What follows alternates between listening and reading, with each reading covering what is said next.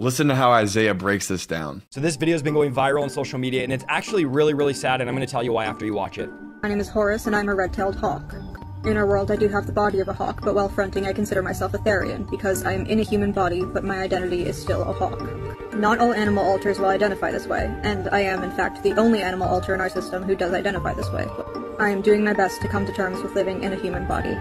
So this person says they identify as a hawk, which Horus is an ancient, as you can see, looks like a hawk, an ancient Egyptian god whose dad was Osiris and mother was Isis that pagan culture used to worship. This is absolutely a demon speaking out of this person, and as the church, we should be praying for people like this. We should be doing deliverance on people like this. They say they have DID, which is multiple personalities that manifest out of you, and we know demons are just personalities. They're disembodied spirits, personalities that live inside of people. So man, my heart breaks. There's nothing to be made fun of here. This is absolutely sad that people are living like this in bondage, and we need to bring deliverance. The culture's crazy right now, but if you want to learn how to follow God, click follow or subscribe.